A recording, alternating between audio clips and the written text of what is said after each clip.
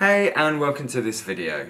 In this video we're going to demonstrate the difference in user experience between a traditional Android enterprise and one using Hypergate.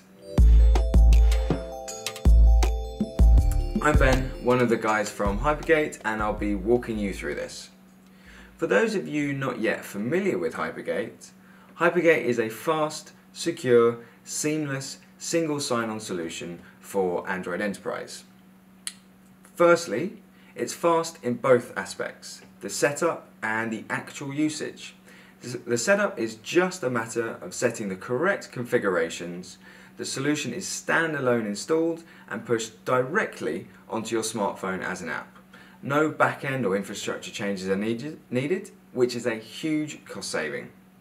And as for the actual end user, you will see just how fast the user authenticates with the resource he or she is trying to consume. Secondly, it's secure. Hypergate leverages the battle-proof standard Active Directory single sign-on protocol, Kerberos.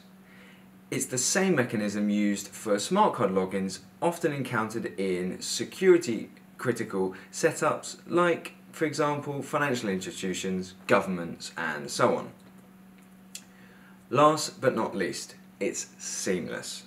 The best part is that even though Hypergate offers this very high level of security, the user experience is completely seamless. Hypergate is triggered out of other apps like Google Chrome in the background. The user gets authenticated automatically and can seamlessly access the secured resource.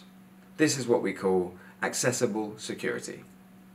In a nutshell, it is Active Directory Single Sign-On Client for Android.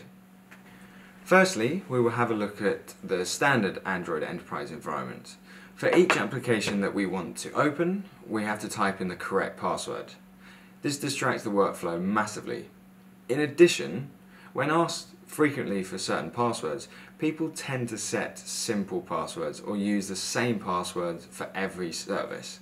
This will have a negative impact on your security. Now, let's have a look at the user experience with Hypergate. After we, after we configured the whole system, we simply have to enter our password once. Hypergate acts as a local proxy for token requests and manages single sign-on keys for all apps. The best thing with Hypergate is the end user will never interact with Hypergate directly. As you can see, no pop-ups and no requests for username and password. As you can see, Hypergate increases security, saves time, and keeps the great Android user experience that we are all used to. If you have any questions regarding Hypergate or how to set it up in your environment, please visit our website hypergate.com or drop us an email. Everything is set up on the platform of our partner, Nemosis.